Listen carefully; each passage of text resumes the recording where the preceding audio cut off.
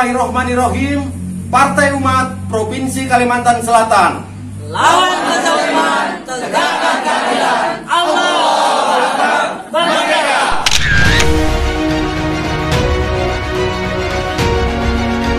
untuk persyaratan verifikasi KPU sesuai dengan jumlah targetnya masing-masing. Mudah-mudahan apa yang sahabat-sahabat lakukan hari ini ini sebuah perintah ilahi untuk bisa dicatatkan menjadi amal baik untuk kita semuanya. Kita berjuang untuk agama